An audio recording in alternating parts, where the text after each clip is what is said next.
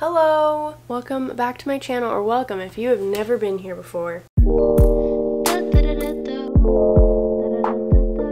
Another nail video. But this one's a little different than my other ones because this nail video is dedicated to designs. It's gonna be fall soon. I try to look at all the positives of fall and winter because I get very sad during that time because it's gloomy and you know, it's not my favorite. I like it to be sunny and happy, you know? So I try to look at the positives of fall and winter time. So one of my favorite things in fall is all the little things like the decorations, fall fashion, fall nails, fall makeup. Scrolling through Pinterest Pinterest and I was seeing all of these fall-ish nail designs so I made a Pinterest board and I was like why don't I do a video on fall nail designs. If you've been needing some nail inspo recently, I got you. Without further ado, we're gonna get into the video. So this first set that I'm going to show you guys how to do are these very earthy toned fall colored French tip nails. I love these because these are so easy so let's get started. So of course you're going to first go in with a base coat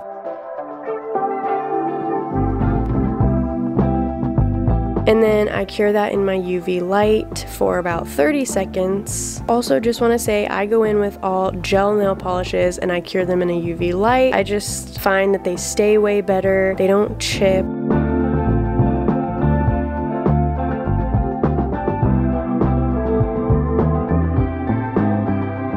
So this is a silicone sponge. I actually saw this hack on TikTok and what you do is you paint the nail polish on there and you dip your nail in at an angle and you can do small French tips, you can do medium French tips, and then I am going for a little bit of a bigger French tip because that's just like the style that I like.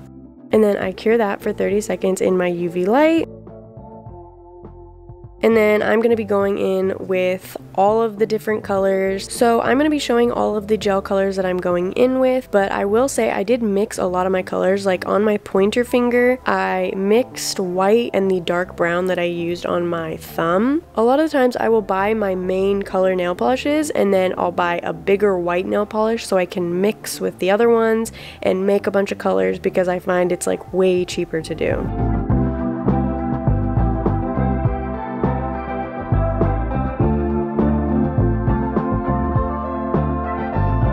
So I'm just going in, doing all of the French tips on all of my nails. Cure those for about 30 seconds.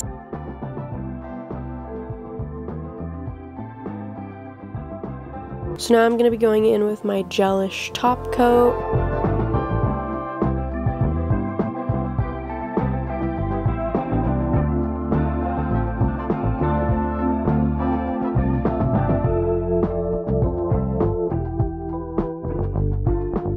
And then I do a final cure of 60 seconds. Now I'm going to be taking rubbing alcohol and then I'm going to be putting that on a little paper towel and rubbing that on all of my nails to get rid of that sticky base from the gel top coat. And then to finalize the look, I'm going to be going in with some cuticle oil just to moisturize your cuticles.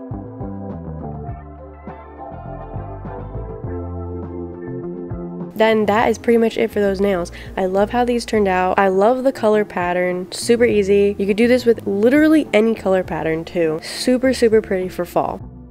Okay, so now these very trendy, like swirly line nails, but I did them with fall colors. And of course, first you're gonna be going in with a base coat and curing that for 30 seconds. I'm going to be taking a very thin nail art brush and I'm going in with the dark brown that I have and doing a swirly line and I'm curing that and I'm going to be going on this with two coats to make sure it's very opaque. This is the dark brown on all of the nails. I'm going to be doing the same exact thing but with white nail polish. And then the same exact thing again with a tannish color and this one I'm going to be going over some of the other lines to give it a little bit of dimension and I feel like it just makes it look way better. I have never really seen anybody else do this, and I don't know if anyone else has this problem, but I hate the feeling of when I can feel the designs on my nails. So what I do is I go in with a very light buffer and I will super duper lightly buff the nail designs if they're raised, and then I will go in with a top coat after that, and then my nails are still super smooth underneath. You don't want to buff them too hard because then it'll take the actual nail design off. And then I cure that for 60 seconds at the very end. I wipe them down with rubbing alcohol to get the sticky coat off. I'm going in with cuticle oil and I'm showing all the cuticle oils I use in this video just so people have like a bunch of options. This is actually one of my favorite cuticle oils that I actually feel like helps my nails stay a little bit stronger that is it for this one. This one is super easy. I feel like this one is super duper trendy too. I freaking love this one. So these are green matte French tips and I incorporated these because I feel like matte nail polish is very popular in the fall and these are very like muted earthy tones that I feel like would work really well. So I'm going to show you how to do those.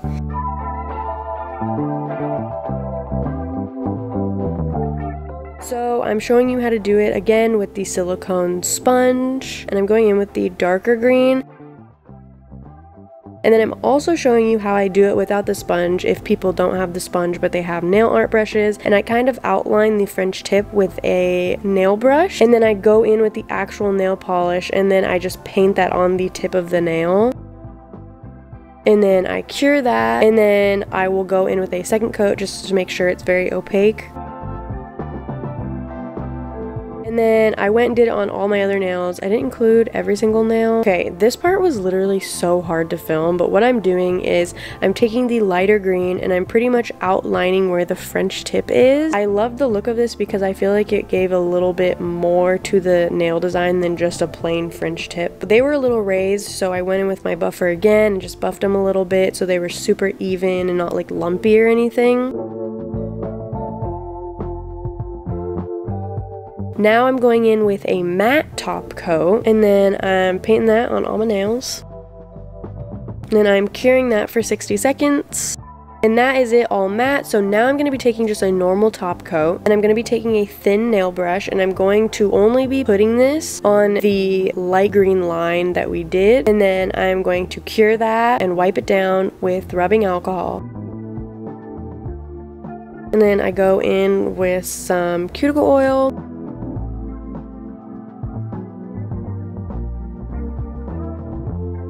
And that is this look. This is probably my least favorite of all of them, but I'm just not a big fan of matte nail polishes. But I included this one for people who really like matte nail polishes. These also really remind me of avocados. They are very cute and I love green so these are probably going to be the most difficult nails in the video. These took me the longest to do. If you have the patience and you're kind of experienced in nail art please do these because they were so freaking beautiful. So first things first you're going to be going in with your base coat curing those so taking my thin nail art brush, I'm going to be going in with the white nail polish first, and I'm just creating a bunch of swirls along my nails. And this is really like whatever you want to do. I was looking at a picture from Pinterest because it helps me do it better by looking at a picture, but you could do whatever swirls you want.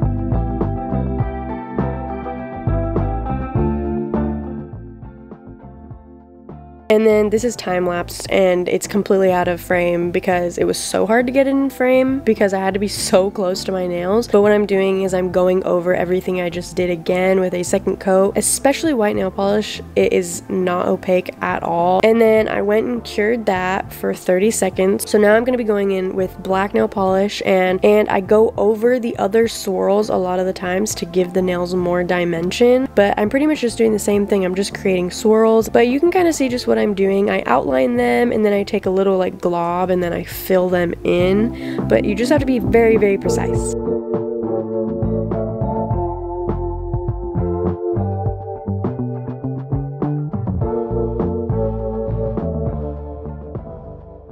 And right here, I kind of made it too thick. So I just take a flatter nail brush and I go along the side and I just kind of take it away with some acetone on my brush. And that's just how I clean up my nail designs if I mess up.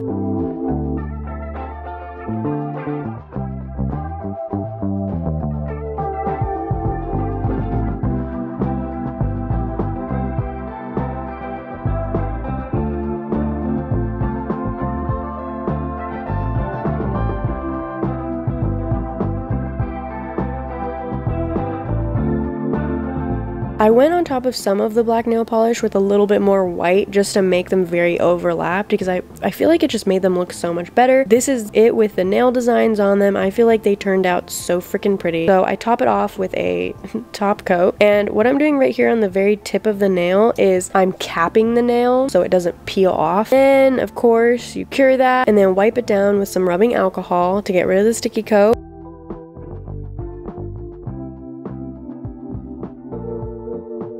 These are the final nails. These are probably some of my favorites. These turned out way better than I expected.